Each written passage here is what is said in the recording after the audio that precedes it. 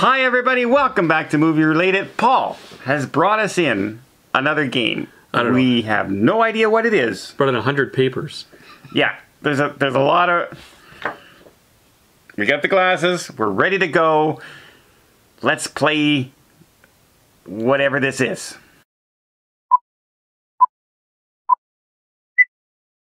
What did you bring us today? Okay, so if you've been on Netflix lately, you've seen Howie Mandel is hosting another game show. Is he? Yeah, and it's called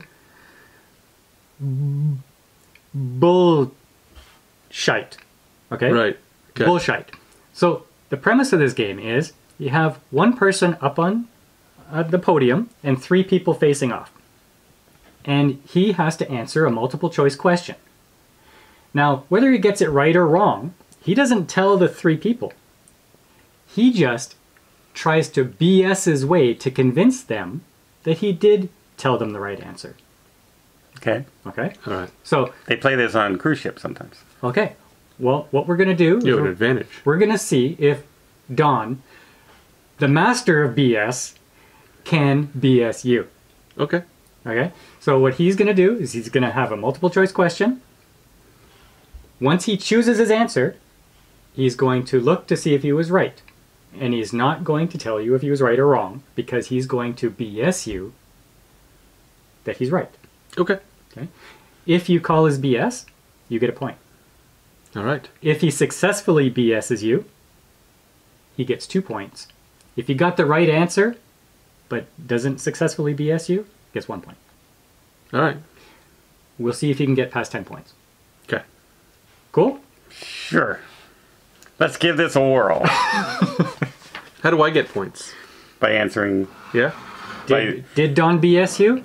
Like, did you call him on it? Or if you say, you know what? I think that was the right answer and you're telling me the truth, Okay. you get a point. Uh, and what are these questions? Are they uh, random? Movie questions. Okay. All right. Which two movies started from the same script? A. Star Wars and Close Encounters of the Third Kind. B. Goonies and Indiana Jones. C. E.T. and Poltergeist. D.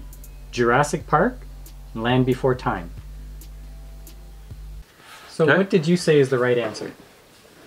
I said it's uh, Indiana Jones and Goonies. And it was simple because I remember the director at the time was trying to write a story for his child. And when he turned it into the studios, they liked the adventure. They liked the going after, like, the, the series of the kids. But they said it would be cool if it was a single star doing it for adults. And that's where they started developing the script at the time for Indiana Jones. BS.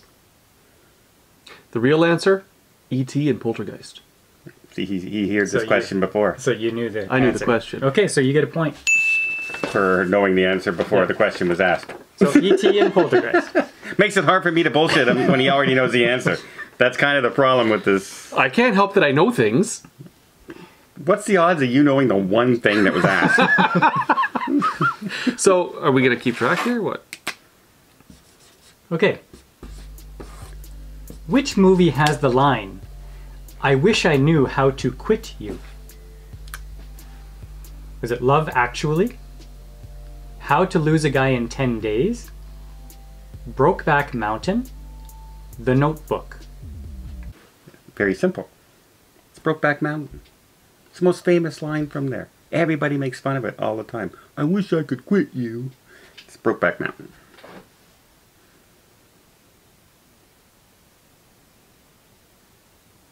BS.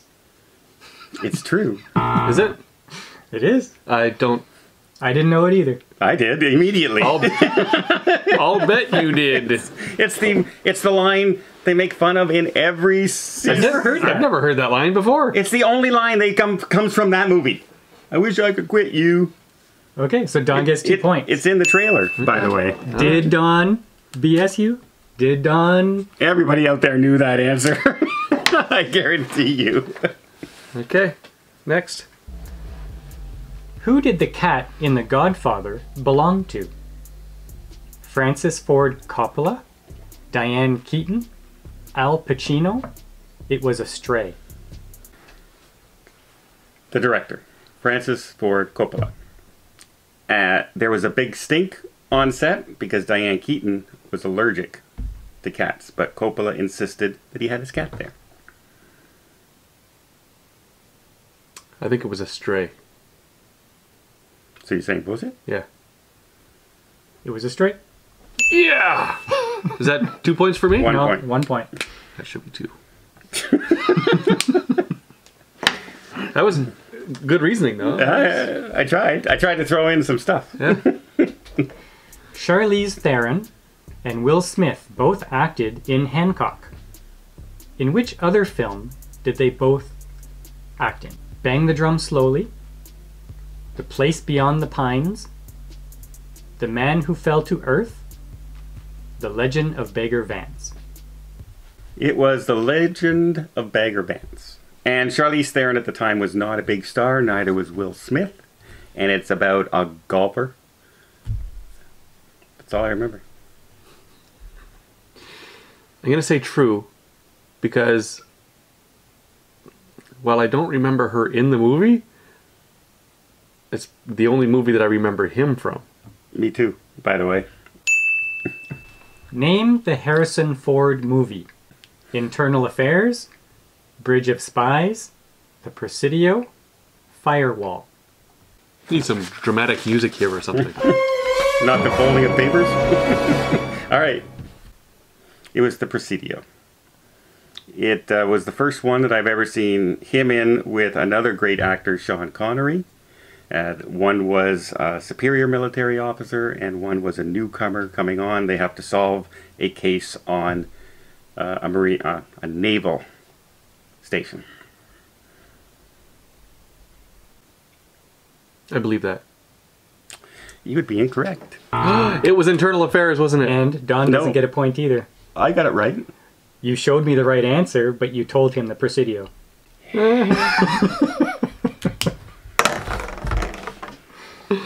Stupid rules.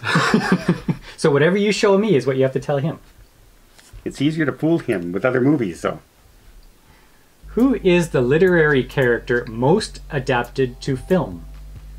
Tarzan, Frankenstein, Elizabeth Bennet, Sherlock Holmes. Well, it has to be Sherlock Holmes. I mean, the other ones that you had the choice of, you did you haven't even heard of Susan Bennett. So Sherlock Holmes, it's been done in movies. It's been a television series called Holmes. They have Elementary on. T- it's got to be Sherlock Holmes. BS. I This time I get two points. yeah. Was- it was a toss up for me between Frankenstein and Sherlock Holmes. What was I too convincing with my with my response? Yeah. Which Hitchcock movie is about a wheelchair bound man who may or may not be witnessing a murder? Rear Window, North by Northwest, Vertigo, Sleepless. It was Sleepless, and the reason behind it was because he hadn't been able to sleep. So he had insomnia for days and days and days, which caused hallucinations, which is why he may or may not have witnessed a murder. I'll believe that. Because that's what I was thinking. Two points for Don. Really? Uh, no, one point for Don. Oh, yeah, you didn't get the right answer. Okay. So what was the right answer? Rear window. Oh yeah. Okay. I, I mean, that would make a good movie. Yeah. Yeah, I thought it would make sense. I, my, my logic was sound. Well, because I was thinking the same I thing. know. I was like, okay, I could see that happening. Yeah. All right. Okay, so you have six points. You're Yep. only four away from ten, which was the million dollars. Which movie is said to have started the modern blockbuster era? Jaws, Star Wars, 2001 A Space Odyssey, Lord of the Rings.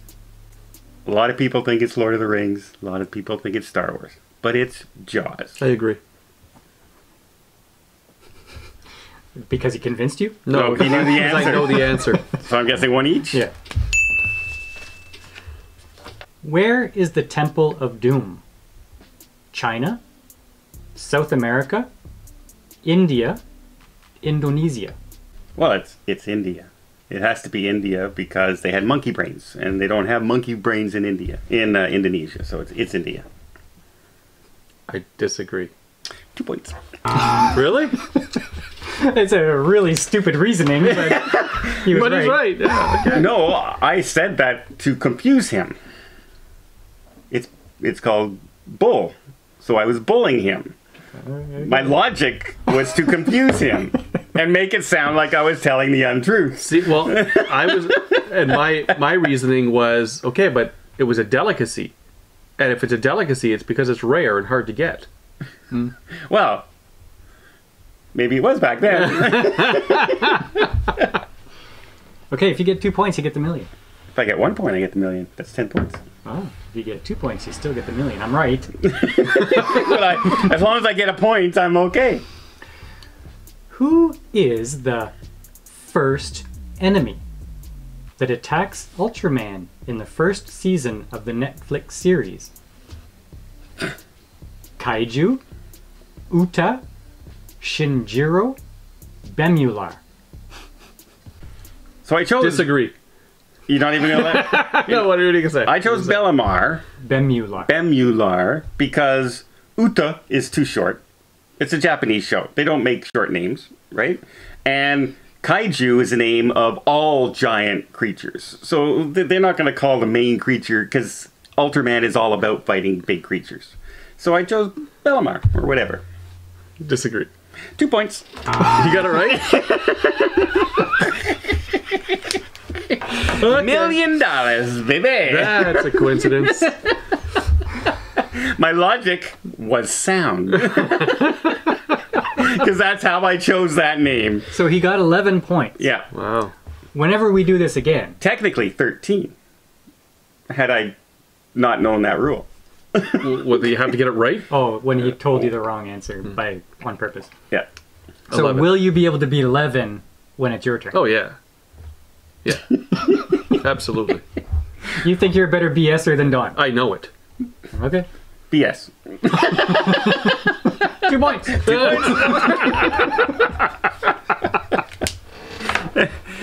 Uh, see, this reminds me of my old job at JDS when I used to do master training for people. And just you don't know what to do. You're just telling them. No, we used to, to as a icebreaker. You used to have it say, "Do the Two truths and a two lie. truths and a lie," and I would fool everybody every single time because I'm really good at lying. Wonderful. it's a great. So, ladies, you can trust me.